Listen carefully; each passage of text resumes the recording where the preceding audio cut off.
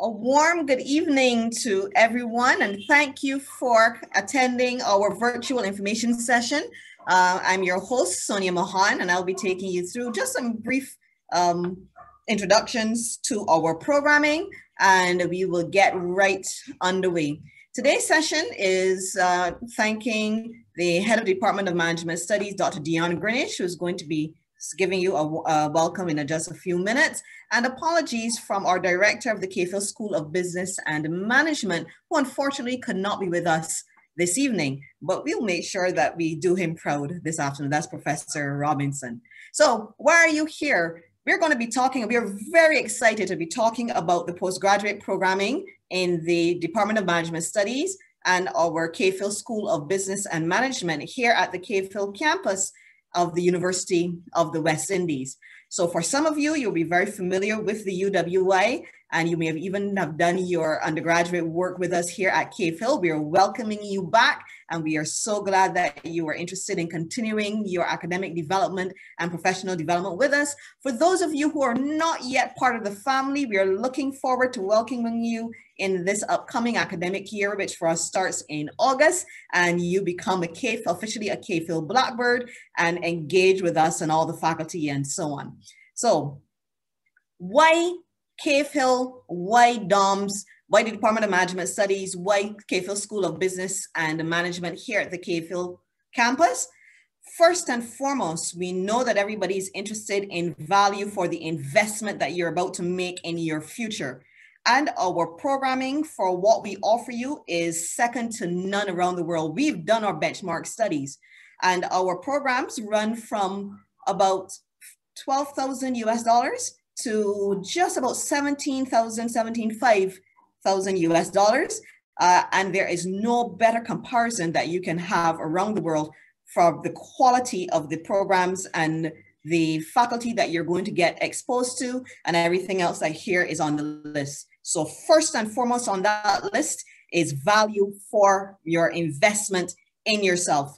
They say that um, that sounds like a lot of money, but we also ensure that you are able to manage your payments and there are payment plans, there are scholarships that are available, um, there are grants that may be available and so on. And the Barbados government continues to support the Barbadian um, populace in terms of their further education. And their areas, we do get a list uh, every year or two of areas of national significance in which the Barbados government does sponsor, and we do have sponsors for some other programming from around the region as well.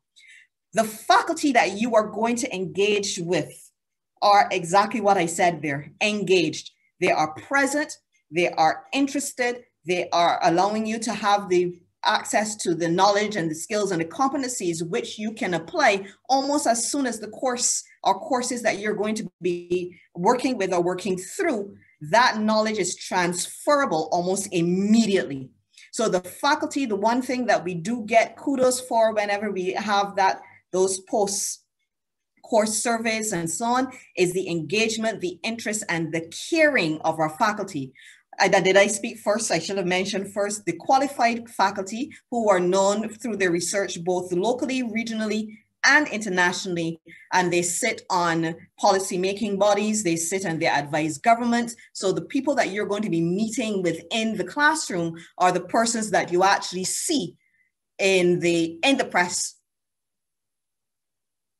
uh, in the press and so on. And I just got a message that some persons are trying to join from the other link that we had today. So I'm just going to slow down my delivery um, at the moment. As you can see, I'm very excited to be talking about our programs. Relevance and application of the programming that you are going to get exposed to. Uh, Dr. Gr Dr. Greenidge, and for those of you, I'm not calling you yet, Dr. Greenidge, for you to speak, but Dr. Greenidge right now is involved in Operation Seek and Save. For those of you who are outside of Barbados, all of us are trying to manage through and really get on top of the ravages of COVID-19. We are very, very proud here at the Hill campus to be engaged in the field, not only through the volunteer work of our students on the campus, but in essence, every Barbadian household is, the government is attempting to interview every Barbadian household so that we can get a sense on ground of what the COVID-19 situation is. Now, why are we so excited about this and why do we bring this up with our postgraduate programming? Because the persons who were involved in developing the app, in developing the analytics, in developing the dashboards, which are feeding the information almost real time about the households visited about the persons that they're seeing that may have been contracted COVID 19 and so on. On ground, those were developed in house by the Cave Hill campus, by the program, the students involved in our business analytics program. And we could not be more, um, I know I've said this so many times already, we could not be prouder of the fact that our programming is relevant enough to address real world, real time, local, regional, and global issues at the point that our interaction can make a difference. So the Cave Hill campus, even though we're missing the vibrancy of the day-to-day interaction physically with our students and our colleagues, we are still very, very engaged and we are excited to be welcoming you into that family, no matter which program you have of interest. The business analytics is one that is uh, in the highlight right now, but we see this work right throughout the faculty um, for our postgraduate programming. Flexible, both in terms of matriculating into the program, as well as being determining how you are going to follow the program. So while most of you will be matriculating into the program through your academic background, there are some of you who are mid-career or opting to change career or developing per, um, both professionally and personally to enhance your skills, your knowledge, and your competencies. And we don't penalize you for choosing an alternate path to get to this point of your development. So there may be some of you who went the traditional route of your academic studies, but there are some of you who went straight into, into the field and you develop the knowledge, skills, and competencies that we value and hold dear. And you become a very important part of the cohorts which we form within the, within the different programs.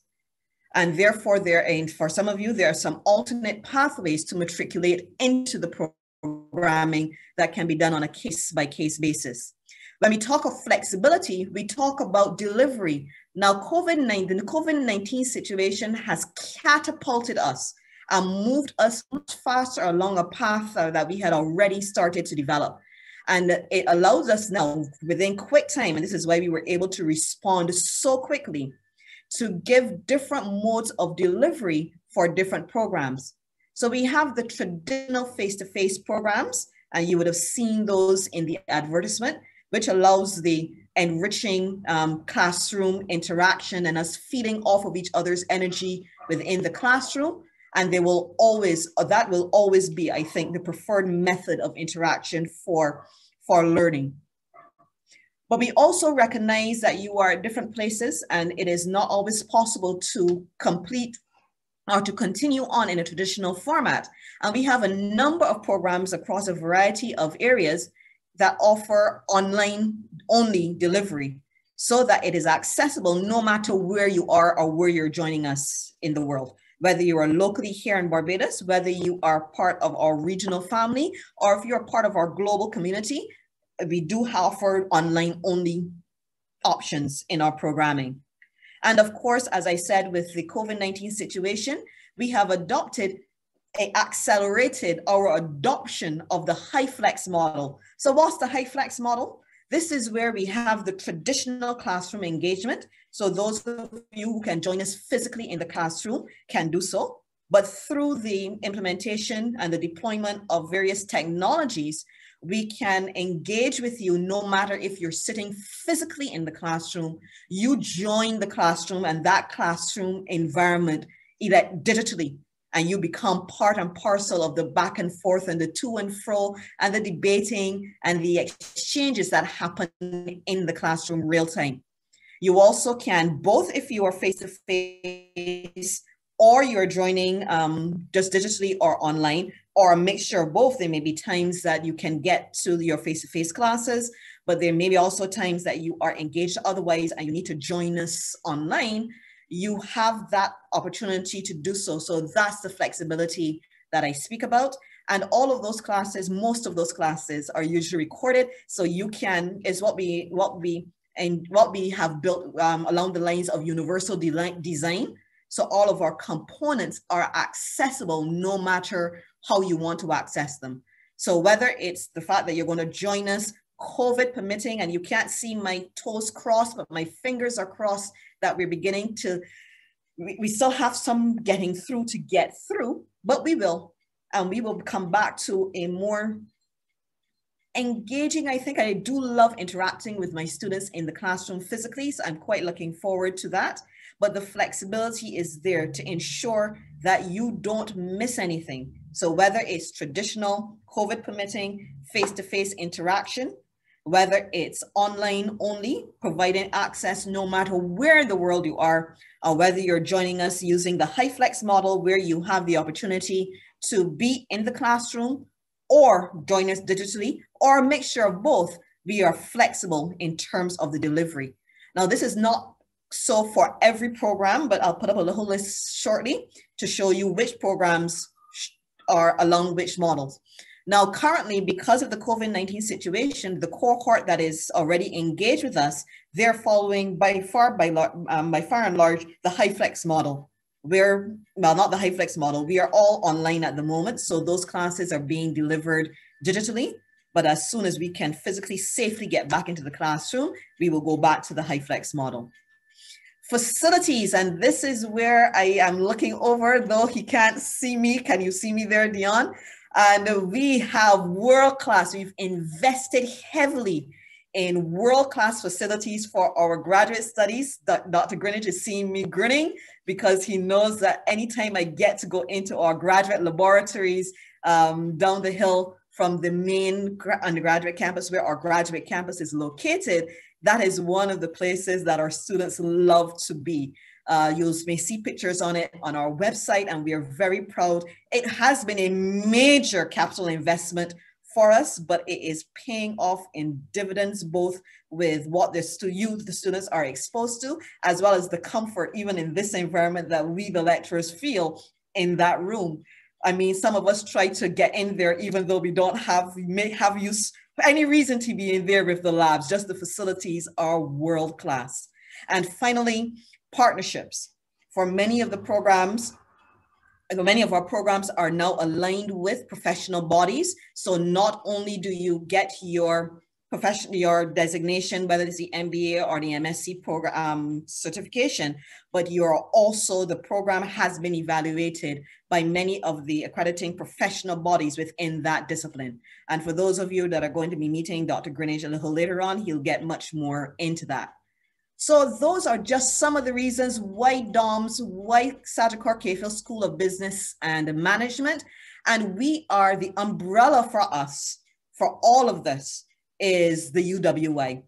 And uh, we will always remember what our vision is as the UWI to be an excellent global university rooted in the Caribbean so that the knowledge, skills, and competencies, the learning that you are going to apply will always have its grounding here in the Caribbean.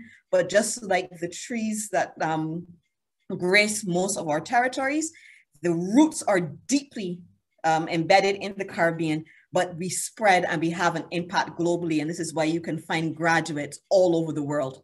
And our mission, as it says here, to advance learning, create knowledge, and foster innovation for the positive transformation of the Caribbean and the wider world. This is who we are. We here in the Faculty of Social Sciences, we here in the Department of Management Studies and the Sagicor Cave Hill School of Business, we are dedicated to your future. We are looking forward to welcoming you to the family that is DOMS and CHSBM. And I'm going to turn it over now for just a continued welcome to Dr. Greenidge. Dr. Greenidge, you're up. I know you're in another meeting at the moment, but we're ready for you. Good evening, everyone, and welcome to Cave Hill School of Business Management and DOMS.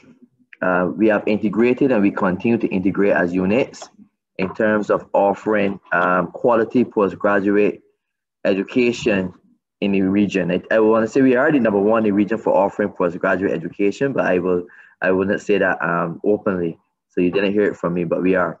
So um, you know, I, I think Sonia just Sonia said it all really. She she really said it. I I know a number of things that she was speaking that, that came to mind, especially as the experience that you will have with us here at the Cave Hill campus and what we have been doing over the years as we grow our as we grow as we grow our graduate programs, as we continue to develop new graduate programs and, and within within the university.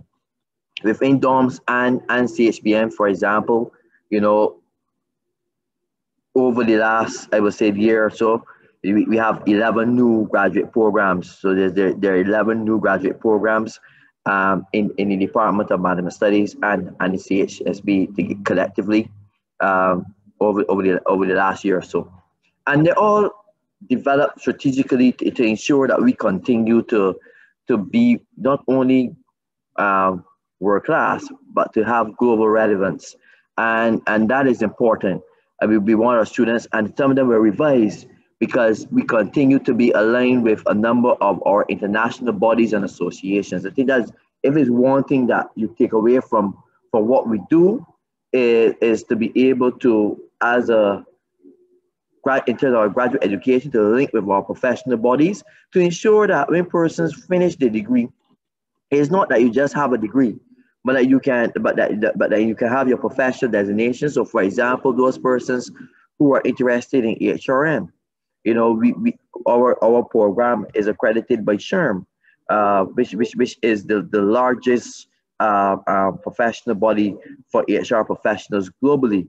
Uh, and, and we have that accreditation. In fact, when our students leave that program, just as an example, they are able to go into um, that body at a particular level. Just have, they just have to do the exam for that body, and they, so they don't have to do the, all the courses and so on. Once you finish our program, you can enter in. Same thing with marketing. We our, our marketing masters program it um, has that uh, and so on. You know, you know, we have we have recently revised and revisited our our project our project management program. We, we have we have recently we recently we recently revised our project management program to ensure that we can continue to offer courses that professional um, element afterwards, especially in, ter- in terms of the P- in terms of the PMP, uh, and so on. So so so so we so we look so so so that is critical for us. And then and then again we have our new international business program, and and that we tra- training that with with our trade with trade and therefore our our um, center for trade here on the campus uh, trade policy is also important to us as the world moves on. So, so we are thinking more globally, uh, how we are able to, to bring programs into, into being. We have our, our new MSc uh, Information Systems Program, Management Program as well.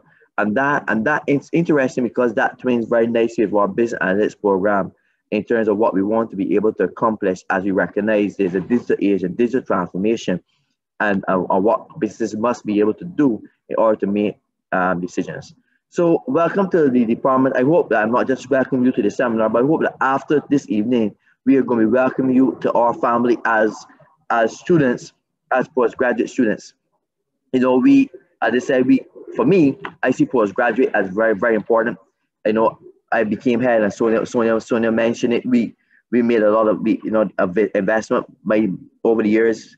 Um, I was determined and, and, and my team, which is Sonia and a number of other, all of my departmental members uh, in terms of the vision. And that vision was to build a world-class uh, postgraduate, and that's what we have been doing. Most of our postgraduate programs, when, when you go um, to UD, you, serve and, and, other, and other ranking bodies, you see that we are ranking. We see that we see that we're very much up there in the rankings in the in the individual programs, rank, ranking very heavily. So, for example, in what they call Region Nine, Latin American and the Latin America and the um, and and the, and the and the Pacific and so on regions, you, you, you see that we are I'm sorry in the Atlantic region we are we are we are ninth, for example, in project management and and so on, and we have we have our ranking. So we are we are very we have done well in terms of so when we come to you this evening, we are coming to you and saying to you we want to join us here because we believe we have some quality programs that you can benefit from.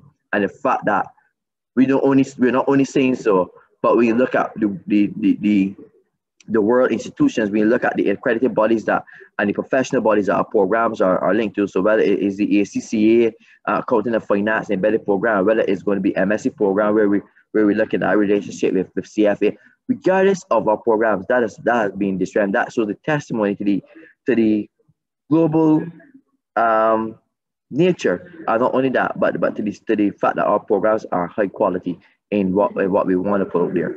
So I welcome you to our programs. I don't want to talk too much because I want I'm excited to, to want to, to to go into your breakout rooms, whether it's going to be the CHSB room, uh, or or the or the or the DOMS room. But because it's CHSB room or the DOMS room, I can tell you a little secret. you you is one room, right?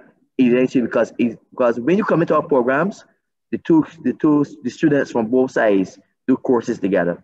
So you so you will find that throughout the year you will meet each other, you will you will you will learn from each other, you will do courses together, and, and so it could be already one across the board. So for example, the, the new MBA program, which is which is which is which is offered through um, the Cave Hill School of Business and Management, has really been developed and, and, and nurtured within DOMS as well. So it's really this week. I'm not going to be in that room with you this evening, but I'm currently the one who will be who will be um, shepherding that program along for the next academic year. But I leave you in the, in the very trusted hands of Sonia and, and Pamela in that room. And those who, who come into DOMS, as Sonia will tell you, I'll talk with you and my and my AA from the DOM side, Martha. So I think I just want to say welcome. Thank you for joining the seminar. But most importantly, as soon as you leave here, if you if you have not sent in that application, just think worldwide, global, and you want to be part of that family and do that and, and do your application. Don't even wait till you finish. You can start typing that application now, but just kidding.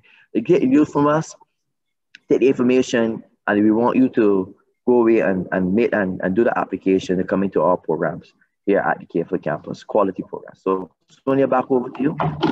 Thank you so much, Dion. And uh, yes, we do have a family here. So no matter if you're choosing a program from the Cave Hill School of Business and Management or the Department of Management Studies, several of those courses that comprise the program, we have a mixture of cohorts. We have a mixture of students in particular programs, in particular courses within the program. So you will get to interact with the counterpart parts. If you think of it as siblings, you do interact with each other. There's some questions in that came in, so I'm to I, I answered some of them by type or you got a response typed, but some of them I'm going to answer live. So are scholarships only for citizens of Barbados, or they're available for other Caribbean um, citizens? So it depends on the scholarship. The government of Barbados sponsors, rather than think of it as a scholarship, sponsors particular programs. So there are programs, um, for example, finance and economic studies. That MSc program is sponsored by the government of Barbados for Barbadian citizens, although it is open to everybody in the Caribbean or anybody who wants to, to pursue that program. The government of Barbados also has identified areas of national significance where a Barbadian citizen pursuing those programs who gain entry to those programs will be sponsored by the government of Barbados. However, there are scholarships that are available to everybody, um, particularly those in the Caribbean. So it will depend on how you are, it, it, will depend on the scholarship that you're thinking of. And on application, you can actually put in your scholarship. You can put in your application for a scholarship as well.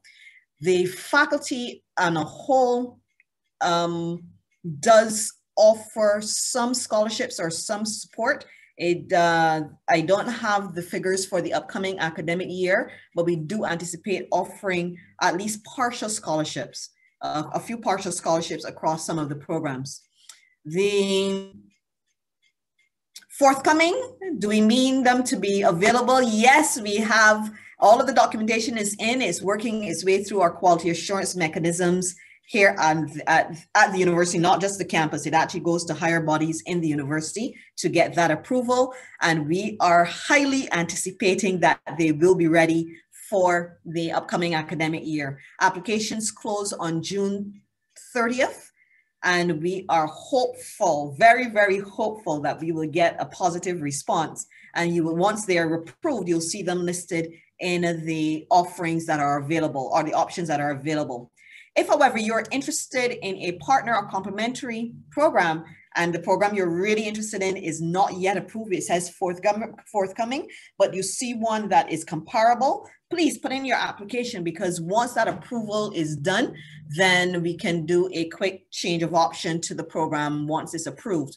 For many of the programs, um, so example, the business analytics with aviation management, while we're waiting for that to be approved, business analytics is ready and the many of the core uh, course, yes, Dion?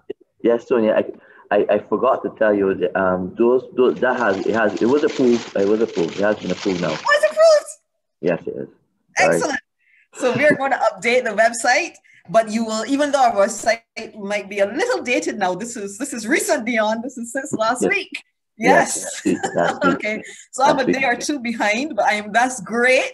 But the the options therefore will be available on the application site. So once they're approved, they are available on the application site for you to come in. And are there plans to offer the F financial management in the upcoming academic year? Yes, I see no reason why we are not offering financial management, Dion. Well, I'll talk more about that in the in the, in the okay, in the Dom's breaker room. Don't let in me step on Dion's toes. The Dom's breaker room will add some more there. Um, so that the MBA, the, Dion, before we go and we wrap up here so that we can get people into their private sessions, can you give us a broad overview of the differences between the MBA and the MSc programs, uh, besides okay. the entry points for the programs? Right. So besides the entry points, which um, for the for the MBA, the major the major the major difference will be that you have to have at least three years uh, working experience.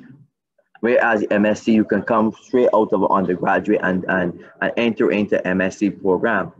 Uh, I think the next difference is talk about that practical end of it because with, although although I, am always very cautious these days of using that very um, simplistic difference you will find um, on the World Wide Web or as you read up on the the difference between the MBA and the MSc. Normally persons see as one taking more theoretical and philosophical concepts versus the MBA which is supposed to have more of a practical uh, um, component, more more practical in terms of teaching. But but but I, what I will say to you is that um, you know as we move closer towards what what a model of, of, of, of business education, what you will find is that even the MSc programs tend to have these days some practical components to that as well. So so so that you know you, you have your client projects, you have the, you have your practicum, or you have your your your consultancy project within um, MSc programs as well. But when you so when you think of it as a practical nature, they they, they they're more think about the applicability um the the uh, to to workplaces at the time. So that's why I said I don't want to say it simplistic in that simplistic way because uh, the MSc programs also do that. So the most of it really comes, stems around entry. It stems really around the the fact that one, you need three years experience, and then as a result of that three years experience, you know, you know, you know, we, there's certain there's certain um ways that we will pitch that that, that course to, to bring in more of what we call the experiential element to it uh, recognizing therefore that we want to see more apply. So for example, where where say MSc program, the, the, the assignment might be um, say the, say the assignment might be a, a essay or the assignment might be a a, a, a particular um, exam. In, in, in the MSc program, you may have more case-based um, assignments. Although, sorry, in the MBA, you may have more case-based assignments or doing the MSc program, that kind of that would be the um, that would be the situation as well. So I I am always want to say that these days, as you go and read, you realize what I'm trying to say is that these days the differences between them has really narrowed to where there's not much of a difference other than who you are targeting. So the MBA really targets working people, persons who have that working experience, who have been who have been um, professionally employed for, for, for a period of time, and that is really the target market. The MSc, although targets as well persons who are working, their, their target is, is, is not necessarily streamlined in that way. and therefore, and then in the MBA, what you can have, which you also have part of stream the MBAs, is that executive MBA, which now is different from the MBA, the executive MBA. And I think we um, um, and the ones we are continuing with into the executive MBA. So you're gonna have the executive MBA, um, healthcare management, the executive MBA in public sector management, the executive MBA in IMBA. Those are persons then who are at a particular level of the organization. So, so to get into say normally executive MBA program, you, you you know you're looking at professionals who have managerial experience who have been who are in managerial positions and so on. So so so that is somewhere the difference is really is in the entry these days, uh, more so than, than anything else. I hope I was able to explain it. Thank you, Dion. And there are some other questions in the chat that you're going to address in the in the DOMS room, like what's available, where can they get more information, um, and so on. And you just talked about the entry point for the executive MBA. Uh, the self-financing programs, there, remember that MSc project management was self-financing, has always been self-financing, but sponsored by government, and whether that continues to be so, as well as the international MSc and international business. So those are the two questions in the chat for those. And for most of the brochures, most of the information, uh, this website that you went on to, uh, that you that you registered through to get to this webinar this evening provides the direct links to each individual program. And uh, again, we will put that up in the chat once we go to our new rooms. Now, we had such an overwhelming response to the sessions, and this will not be the last one we are holding. You anticipate that we're going to be holding more of these as we as the year progresses, especially as we come closer to the deadline date. For those of you who are interested in programs in the Department of Management Studies, I'm inviting you now to look into the chat and you will see a link to that Zoom meeting.